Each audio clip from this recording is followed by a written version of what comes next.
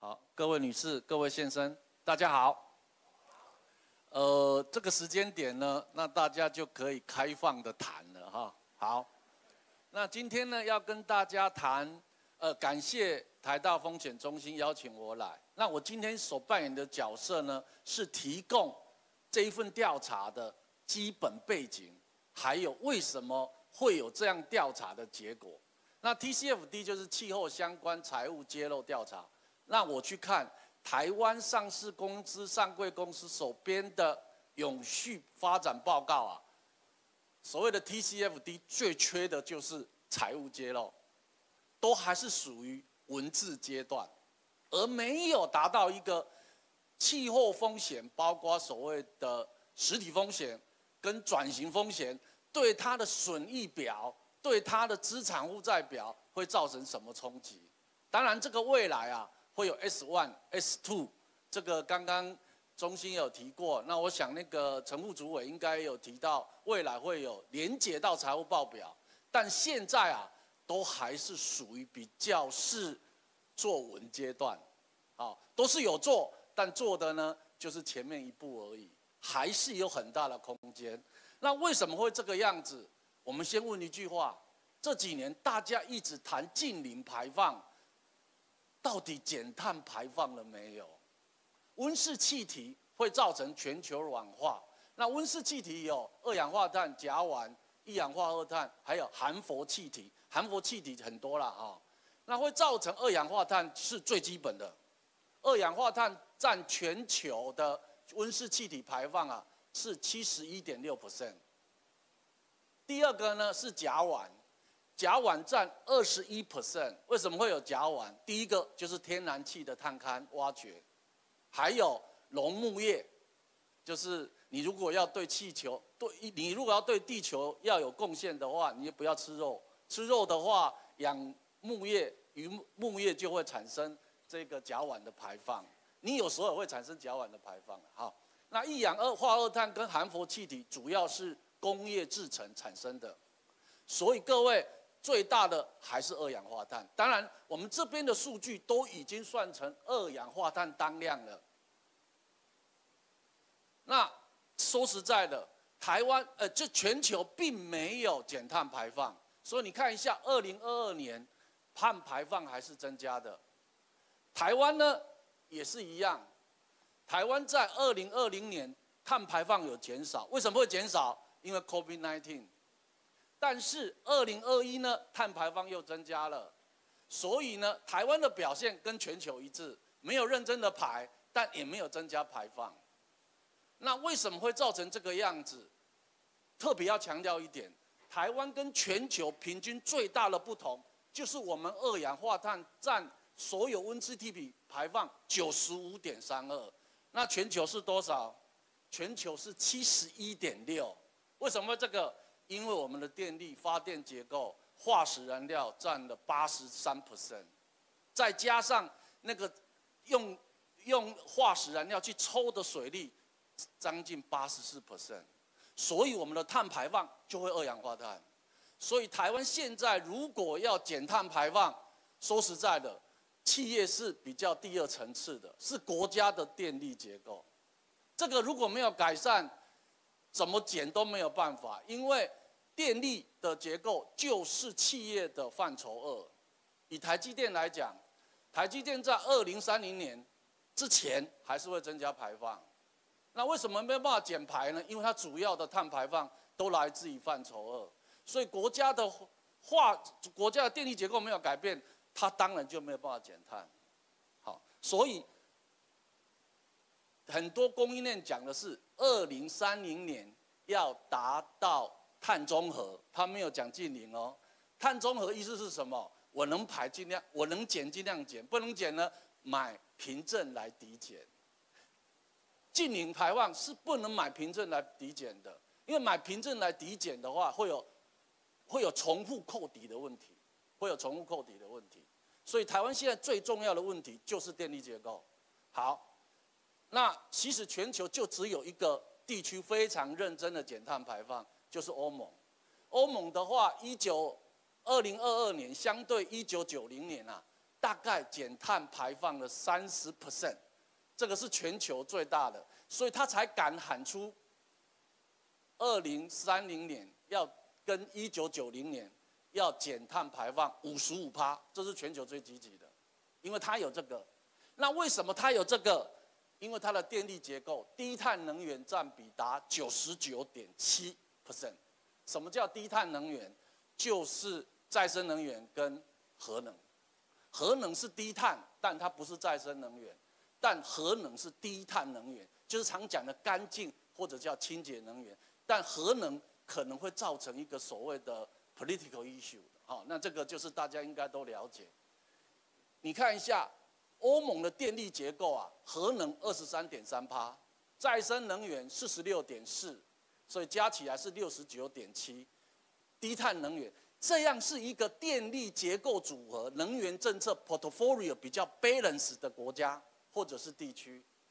那接下来呢，台湾的电力结构之前啊，一九九零年的时候，化石燃料五十六点三，化石燃料就是天然气还有煤啊，主要是煤、燃煤。然后呢，核能占三十六点四，其他占七点三。可是我们二零二三年化石燃料高达八十三点一，抽蓄水利其实也是会排碳的，那就八十四趴了。而且在灰核家园的政策之下，核能会持续下降。如果什么都没有改，明年应该就是灰核家园了。那灰核家园的话，我们的低碳能源只能靠再生能源。我们去年的再生能源占比才九点五八。这个是很认真在做，经济部很认真在做，但是呢，你如果单压再生能源，那么你的化石燃料呢就不会下降，那只好走向天然气。那我们天然气是没有碳勘，但是我们有使用，所以天然气价格如果上涨，台湾台电就会亏损，有时候是输给中油啦，最后还是要谁去增资，政府去增资，不然就像今年四月。全民涨电价，一样的问题会缩回来。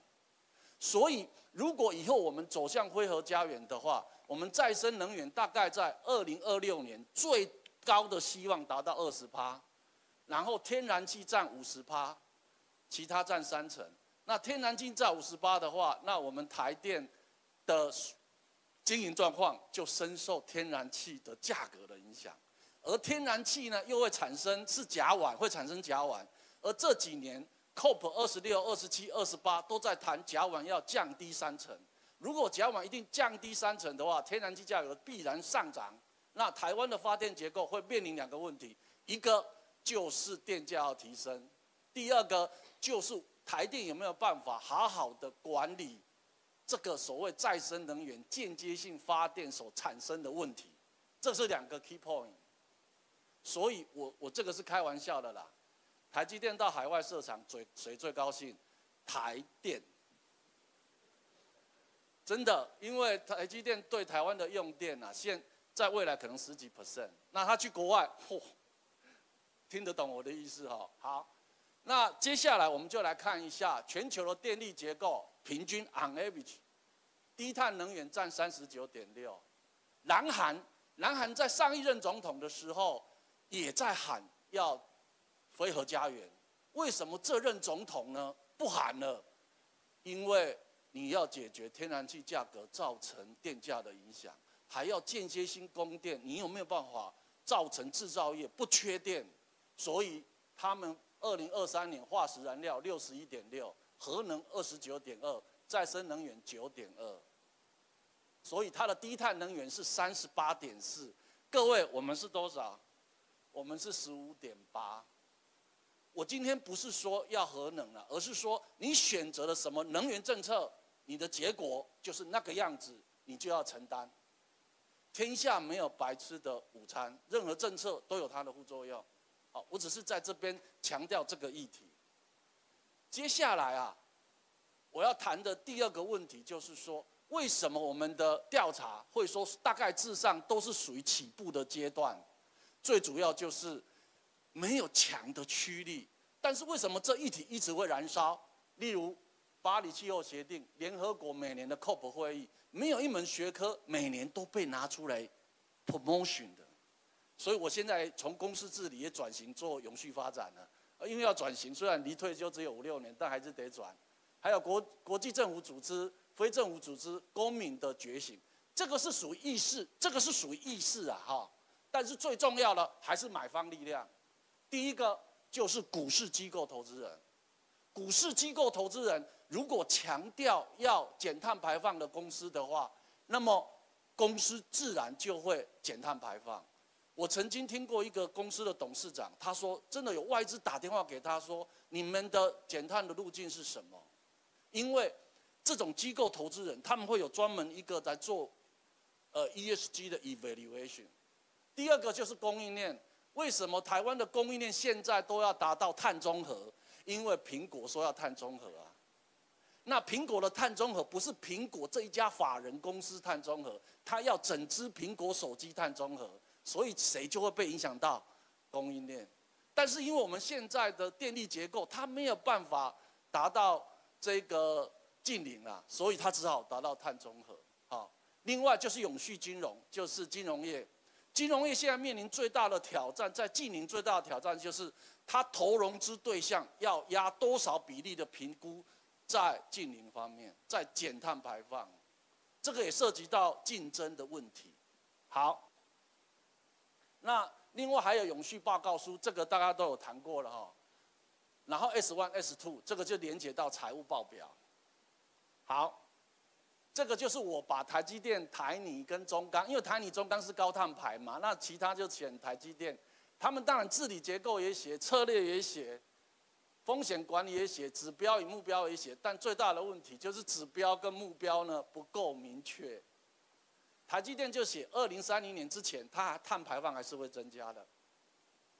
然后台泥呢？它减碳指标不是绝对指标，是相对指标，就是每一吨水泥它减低排放多少，但是不是绝对的目标。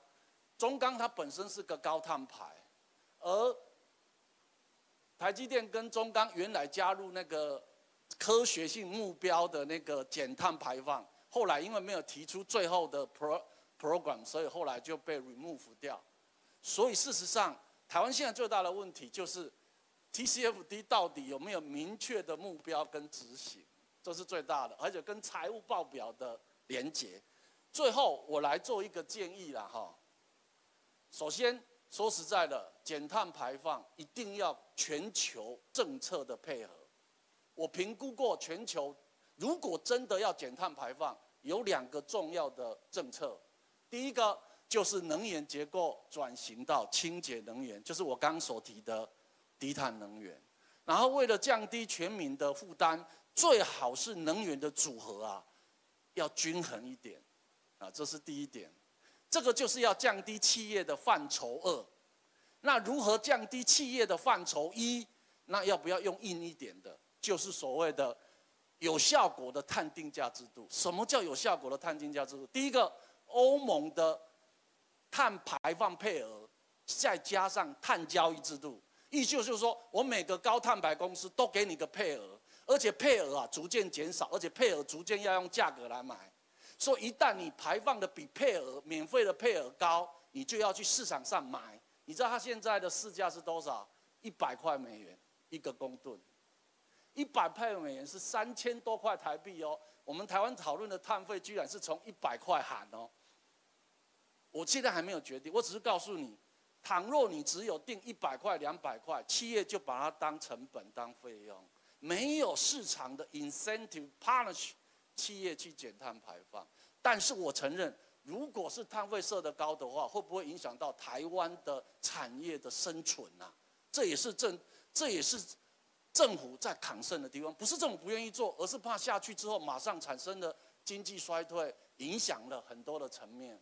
第二个，就像新加坡。新加坡原来的碳税啊，是原来是每公吨五新币，今年到二十五新币，两年后到四十五新币，二十五新币大概是六百块台币啊，六百块台币，两年后的四十五新币呢，大概是一千块台币的，然后希望在二零三零年的话，要到五十块到八十块新币，就是一千二到两千块之间，就是搭上了欧盟的水准，所以只有这两个，这两个。才是完整的。倘若没有采取这两个的话，那就是比较佛系的，或者就是说得多，说得多，做得少。好，它其实是最好的碳排放配额。我们每个人时间，然后他哦，他的脸很严格执行。然后如果你没有达到的话，就把你赶下去。那我就一定要下去说一定要碳排减排，不然就会被赶下去那再借一点时间，好。永续发展的治理就是刚刚讲的，要去评估气候相关风险机会，还有气候策略。我大概归纳了气候策略四个，然后减碳的四个阶段：盘查、减排、抵换跟揭露。最后最重要的是明确可执行、可比性、落实执行。